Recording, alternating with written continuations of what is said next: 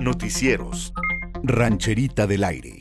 Cerca de las 7.30 de la mañana de este jueves se registró gran movilización policiaca y paramédicos de la Cruz Roja en el Motel Secret ubicado en Villa de Fuente tras el reporte de tres personas inconscientes intoxicadas con alcohol en una habitación de dicho motel. De inmediato las autoridades ingresaron a dicho habitación y atendieron a, Laura Aguilar de 26 años, Ilse Horta de 29 años y el norteamericano Ricardo Garza de 30 años de edad. Estas personas se encontraron intoxicadas debido a la ingesta de alcohol. De inmediato fueron trasladados a un hospital de la localidad para que recibieran atención médica y ya son reportados como estables. La información la dio a conocer el delegado de la Fiscalía General de Justicia, Víctor Gerardo Rodríguez Lozano. Bueno, sí, por ahí causa alarma el hecho de que aparentemente unas personas este, marcan el, sistema de emergencias 911.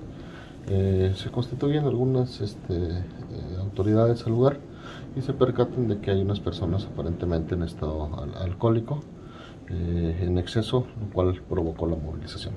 ¿No hubo personas de gravedad en este caso solamente? Mm, no, no. Según los primeros auxilios, este, las personas eh, reaccionaron de inmediato. ¿Son tres personas, dice?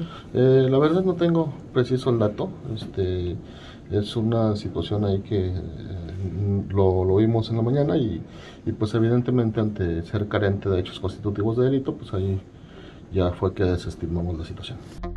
Noticieros. Rancherita del Aire.